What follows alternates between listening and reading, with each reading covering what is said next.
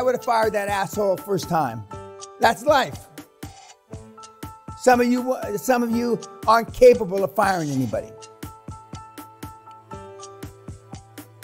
Yeah, well, don't, you don't have to just put a cap in his ass. That means a bullet in his fucking head. That's it.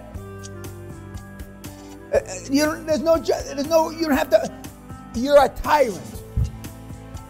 You don't have to come up with a fucking reason for anything. You're gone, asshole. That's it. You got to make decisions like that. You, if you have to think about it, you're dead. And if you can't do that, you better have a motherfucker on the board that can.